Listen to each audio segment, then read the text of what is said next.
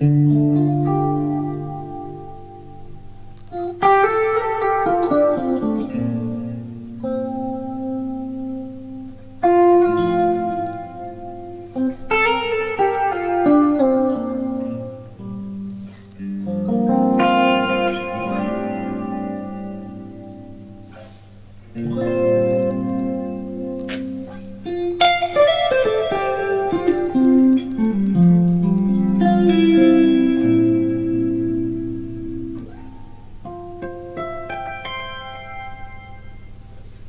Hi, my name's John Cordy. I've come into this video suitably unprepared. Uh, we're going in raw, without a bag, and still looking for someone to give that to. I know I made a promise that once we got to 20,000 subscribers, someone will get that whisper. So, you know, it could be you. If you, if you want a whisper from a multi-pack, just leave a comment below. And uh, it's good till the 25th of October, so you got time.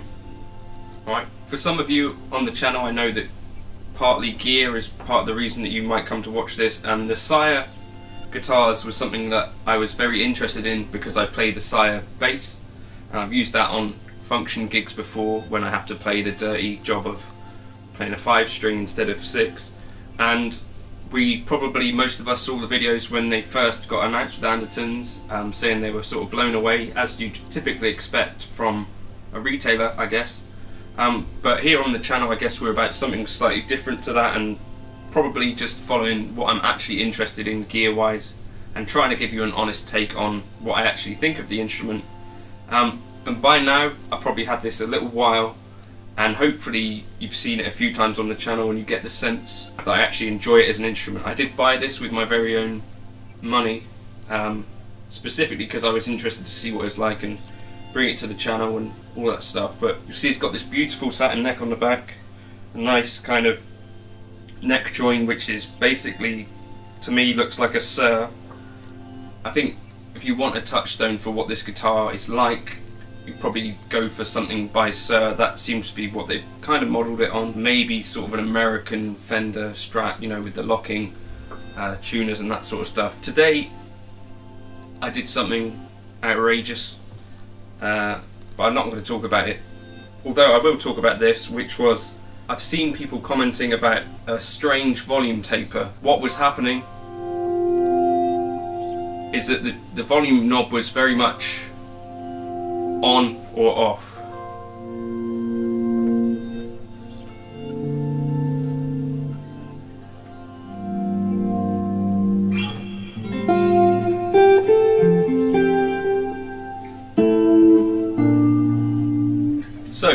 Did was I messaged Tony, friend of the channel and internet person you can trust apparently, and said, what's going on with this guitar? And he suggested there might be a treble bleed in it. So I opened it up and sent him a picture of the volume knob, and he said, yeah, those two little things there. Take those out and you no longer have a treble bleed. And if you've not had a guitar with a treble bleed before, basically what it does is it preserves the top end of your signal when you roll off the volume knob. So some people like this sort of thing, Personally, I was finding it a bit unusual and not like any of my other instruments. And so I do tend to use the volume knob for various things.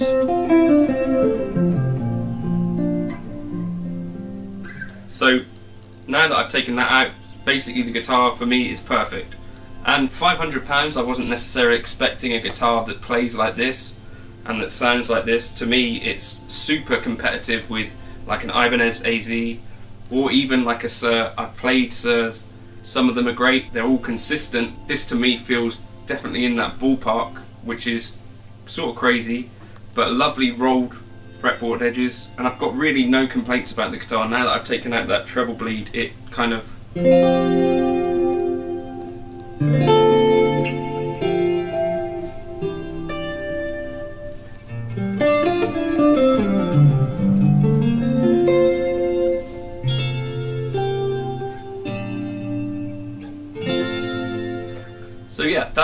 of my thoughts on Sire guitars. I think they're really, really kind of amazing value.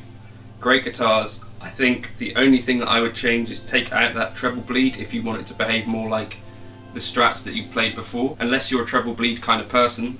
I personally have found that I'm not so it's easy to take them out. Basically just snip off the, the capacitor and resistor with a pair of pliers or whatever. But you know, message a friend who's into electronics if you're not aware of what you need to be doing with this. I think the Les Paul, so I really like the playability of that guitar as well. It's more like a Les Paul than a Strat, so for me, I'm more of a Strat guy. But I'm feeling like that one's probably got treble bleeds as well. And so I'm going to probably open that up in a second do the same thing, but just wanted to kind of share a bit more of my journey with the guitar. I think it's easy to see a review or demo online of a guitar or an instrument just one time. You never really know, did that person actually get on with that guitar? Did they keep that guitar? Were they paid for the review? All of that sort of stuff. So I paid for this guitar with my very own hard-earned money and I've kept it and I really, really do appreciate it as an instrument and people message me asking me about the Sire guitar, what do I think of it, and so that's my honest opinion. I think it's amazing value. I've heard from one person who got one who didn't like it. I think they found that it had some kind of fret sprout and stuff, but I think they sent it back for a return and got another instrument, and I'm fairly certain that they're happy with that one. Um, leave a comment below if that was you. Um, but I'd also like to hear your experience with it. I think that's kind of the thing. Maybe this was a one-off amazing instrument. Maybe they're not all like that. But if you've got one and you've had good experiences, leave a comment below. If you've got one you've had a bad experience, comments below as well. The, the volume knob taper thing was something I've heard quite a few people saying about. So that treble bleed, I think, is what is causing that as an issue. But treble bleeds are a thing in some guitars. For me, I prefer guitars without.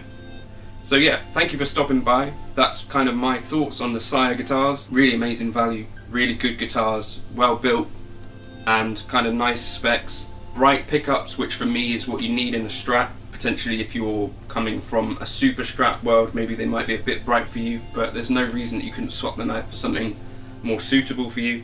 But yeah, that's that's that.